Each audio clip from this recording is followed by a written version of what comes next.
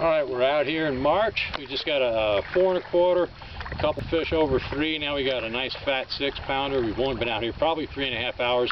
These are migrating fish and it's a post front situation. We had 40 mile an hour winds yesterday and we're just getting into these big migrating fish now. Um, it's after dark. This fish is one ounce under six pounds.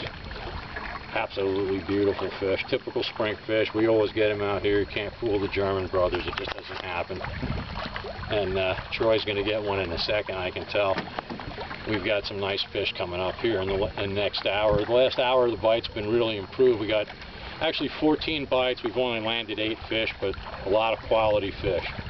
And uh, we're going to get her back fast, but try and get a seven going here for the for the spring bite. It's early spring. Gotta love it. Let's get her back in.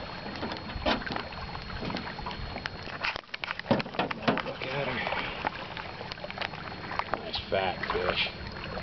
Beautiful.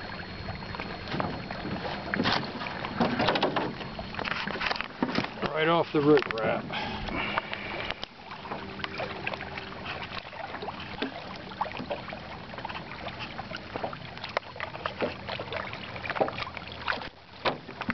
Here she goes.